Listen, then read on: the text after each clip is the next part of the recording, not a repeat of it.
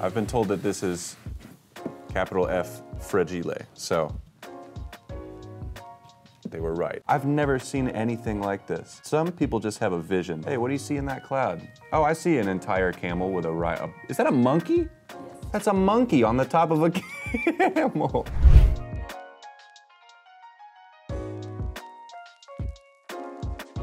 I've never seen a gemstone this long before. Very mountainous, yeah, it seems to have one prominent point of interest. Can I remove the cloth? Oh, there's a clue first. Let's play the match game. We're getting pyrotechnical here today. Or is it matching like bad jokes? Can I go ahead and peel it back? oh, wow. Okay, I said one point of interest, but I was very wrong. We have many points of interest today. Big old conch shells, if I had to guess. That's an official guess. These are conch shells, yes? We got some univalves, some bivalves, halves of bivalves. And if I had to guess what we were talking about, it would be pearls. I've been given a box. This is not, after all, an unclothing channel, it is an unboxing channel. So let's take a thing out of a box. Oh, wow. Got it. I heard a click. Well, now I can't really see it, but I saw different colors of pearls, some black, some gold. And the colors correspond to the mantles of the inside of their shells. So you see how this one kind of has a golden color near the lip, near the edge. That's what would indicate a golden pearl. And this one has black near the lip, which would indicate a black pearl. It may not be best for me, but this is a really fine necklace. It's got golden pearls and white pearls, both of which could have come from a shell like this with the golden outside and the white middle. And these are South Sea pearls very sought after, highly desirable, and here we have black-lipped oyster shells. And these, as the color suggests around the edge, are what give you the black pearls. Most every pearl on the market that you can buy in your jewelry is gonna be a cultured pearl, either freshwater or saltwater. These are all saltwater pearls. So the white and golden pearls from these oysters can be found in French Polynesia and Australia as well. The black ones can also be found in French Polynesia and Australia, and of course China, where many of the world's pearls come from. So generally speaking, you have two kinds of shells that you can get a pearl from. You've got your bivalves, which are gonna be like clams, oysters, you know, the ones that open up. And then these are univalves, gastropods. So they don't open up, they've got a coiling structure on the inside where the living animal resides. I've been told that this is capital F fragile. So they were right. I cannot be trusted with these things. okay, all right, let's do this. So this is the beauty of, of pearls. Not all of them are perfectly round, and that's totally fine. Some of them come out looking like ballerinas' dresses in the eyes of a particular artist. Even more still, some of them come out, according to some, looking like the body of a camel. I've never seen anything like this. Some people just have a vision. Hey, what do you see in that cloud? Oh, I see an entire camel with a right. Is that a monkey? Yes. That's a monkey on the top of a camel. That's insane. I, am not an artist. I could never be an artist because I would never come up with something like this. The SGR does have a really great high-res photo of our little ballerina here. And if you wanted to learn about pearls or really any kind of gemstone at all, the SGR is a great reference. I use it as a resource all the time when I'm researching, writing, or when I just want to learn a little something. Not all pearls come out round. In fact, we've got even more pearls in here that are not exactly round. Check it out. Baroque pearls. Iridescent as can be, different colors. We've got pink, golden, white, but all of them kind of have this flash to them that just makes this necklace pop. Not to mention the fact that not a single one of them is close to round. Well, maybe this guy up here. But you can kind of see where they began to form like in a sphere and then something happened and the mollusk said, spheres are overrated. I'm just gonna cover this in a mush of nacre. And you get these weird kind of free-form pearls. And we've got two more little bracelets. I don't know who could put these on, not me. These, to me, are probably dyed because most pearls don't come in the color of beetroot or peas. They're still very pretty though. Pearls are yet another gemstone that can be subject to a little bit of dyeing to change the color a little bit. So I kind of get the sense that we're playing a match the pearl to the shell kind of thing. And if I had to make one guess as to where pearls like this came from, I would say that it is this guy over here, another bivalve with blister pearls still in it. So these are the kind of pearls that form embedded in that nacreous membrane on the inside of the shell and they never detach. That's the neat thing about freshwater pearls is that sometimes they can form literally dozens of pearls at a time. The cool thing about cultured freshwater pearls is the first ones came from Lake Biwa in Japan. And a lot of cultured freshwater pearls to this day still come from Japan. So we have Japan and China to thank for a lot of the pearls on the market. Remember I mentioned that the black pearls come from black shells and the golden pearls come from golden shells. Well, you can see the number of colors and iridescence on these pearls and you see it matched equally in the sheen of this pearl. You could certainly get pearls of several different colors from a shell like this. So when talking about pearls, you know, you've got the body color, which is like the main overall underlying color like pink, white, and then you've got your iridescence or your orient. And that is the pearlescent effect that makes pearls so famous. All right, we've got another box. Wow, these look awesome. What we have here is a strand of Akoya pearls, Japanese, and the Akoya pearl is part of culturing history. It was Japan's first offering to the international pearl market at large. And they are still desirable today, these Akoya pearls. I mean, there's something to be said about the pure class of a strand of white pearls. It's your grandma's favorite. It's not my grandma's favorite. She kind of likes coral, actually. And then over here, we've got a bracelet made with mother of pearl. And mother of pearl is just kind of a term for the nacre on the inside of the shell that gives the pearl its color like we've been talking about. The formation of a pearl, it's one of those few organic gemstones, means it comes from the natural processes of a living organism as opposed to natural geological processes. The pearl forms when an irritant finds its way into the shell of, for example, one of our little bivalves here. The mollusk, as a defense mechanism, secretes nacre from that membranous inner lining of the shell, and it slowly begins to coat the irritant in a coat of nacre, which is what is this iridescent material that ultimately, after years and years, becomes a pearl.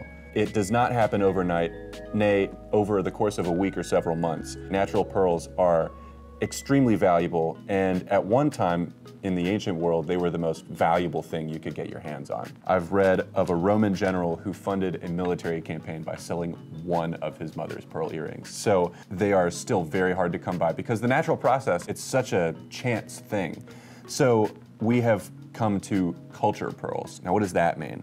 That means we're basically utilizing that same natural process, except it's on our terms. So in the case of saltwater pearls like these akoyas, the irritant is a bead nucleus, and that is a spherical little, usually a piece of mother of pearl, that is put into the mollusk. And then the mollusk takes over and starts coating it with nacre. But because of the original shape and form of the bead nucleus, that is more likely to give you a nice spherical pearl, which is what you're looking for unless you like Baroque stuff. In the case of freshwater pearls, on the other hand, it's usually beadless and they insert a piece of mantle tissue from a donor mollusk. That is where you get your freshwater cultured pearls. You can usually have a harvest of pearls in about a year's time. That is with saltwater pearls. With freshwater pearls, it's gonna take about three years. So it's still a long process, even though we can do a bunch at a time. It's still a tedious patient process. So with your Tahitian and your, your cultured South Sea pearls, you can get them pretty large. And I've been told not to open this box, but I will lift it up because it is secure in there. This is an Akoya shell. It looks like it's cracking a little bit, so I won't take it out of the box. It's pretty secure in there. But this is the kind of shell that would give you this kind of pearl. Very pretty. You can see the iridescence on the inside, the mother of pearl, the mantle in there. That's where the magic happens. Hey, MTV, this is my crib. This is where I make pearls, slowly, methodically, eventually. The fun continues. Whoa! Talk about a variety. Oh, okay, okay, okay. All right, the first thing that caught my eye, I'm gonna pull it out. Abalone. So you can see with mother of pearl and with the pearlescent pearls, the iridescence of the pearls, you're kind of limited to body color and then that shimmer. With abalone, there are tons of colors in here. There's blue, green, purple, I mean, even a little bit of yellow, and it's all iridescent. Keeping with the trend of abalone, check that out. So this one is kind of a mosaic of teeny tiny pieces of abalone, but the shimmer is there, the iridescence is out of this world. A little anatomy lesson on the abalone shell. So when you flip it over, it's, it's not a very terribly exciting thing to look at. But you notice this row of holes that kind of spirals along the body of the shell, and I don't know if you can see, but the whole kind of shell itself spirals in its growth, kind of like, you know, rings on a tree. And you might notice that the holes near the end of the shell are open. You can see my shirt and my hand through it but the holes near the beginning are sealed up. These are kind of the all-in-one Swiss Army hole. It's for respiration, for reproduction, and the garbage chute, if you will. And they close up as the abalone ages the original holes seal up and new holes are formed and open up. So this thing grows over the entire course of its lifetime. It doesn't change shells like a hermit crab or something. It just simply expands. I'm gonna put the abalone away because it was only half of what was in that box. The other half was conch. So these kind of look like pearls, but they're not. They're actually polished pieces of shell, specifically from a conch shell. If these were conch pearls, I would be running out the back door with them. I would get caught immediately. Conch pearls are exceedingly rare and incredibly valuable. They're just far less likely to form in one of these guys than in one of your other mollusks, like a regular pearl. They also live in shallow water, which means conchs are subject to overfishing in a lot of cases. And living in that shallow water is pretty treacherous stuff because the temperature can kind of fluctuate a little bit more violently than out in deeper water. And that can kind of influence or hinder the growth of, of a pearl. The final piece from this box, which is also made from conch shell, and it's a nice, oh, it's also got little uh, teeny tiny baby pearls next to it. You know, we got impatient, cracked them open a little bit too early and pulled out little tiny pearls but they go nicely with these polished conch shell pieces, and it, it goes nicely with my shirt, actually. The pearls of the conch, like the melo pearl, have a sort of flame-like structure that seems just underneath the surface of them, and that makes them also very desirable. And you might be wondering, why don't we just culture conch pearls like we culture all the other, you know, fresh and saltwater pearls? Folks have been trying for some time to culture a conch pearl, but it just can't seem to be done just yet. So if you do find one, or if you're being sold one, you can be pretty certain that it is a natural conch pearl. And you're paying millions of dollars. All right, we got one last box. Whoa. That kind of took me a second. I'm not sure what I'm looking at at the moment. Well, we've only got one shell left to match up with. I don't think I've ever seen a pearl from an animal like this, but hold on, check this out. We've saved for last a pretty unique little piece. So this is a spiny oyster, and this pendant and these earrings, they're made from the shell of the spiny oyster. And they are, in this case and often, composited with other stones, especially turquoise. The oyster shell itself, I think, is a great opportunity to talk about the organic layers of a mollusk's shell. So starting with the outside, we have a hard organic conchiolin material, and Though it doesn't look like it now, this spiny oyster gets its name because it is covered in spines, which kind of serve as a defense mechanism along with its already hard shell. But now it's been polished and ground down, it's totally smooth, no spines anywhere to speak of. One layer deeper from the outer shell is a crystalline, actually, layer of calcite. It's calcified on the inside of its shell. And then finally we get into the inner nacreous layer, which is a mix of aragonite and conchiolin. And it is this nacreous layer that allows for the formation of pearls. So for today's closer look, because I like camels and I like monkeys, and I like it when monkeys ride camels, we'll be taking a look at the monkey riding the camel.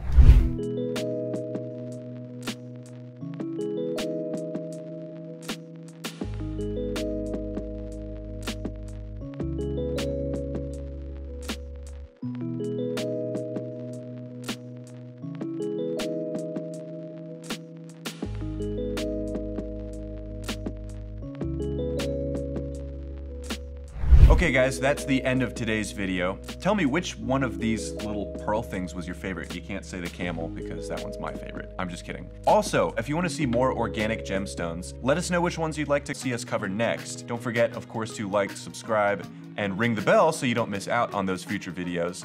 And thank you so much for watching.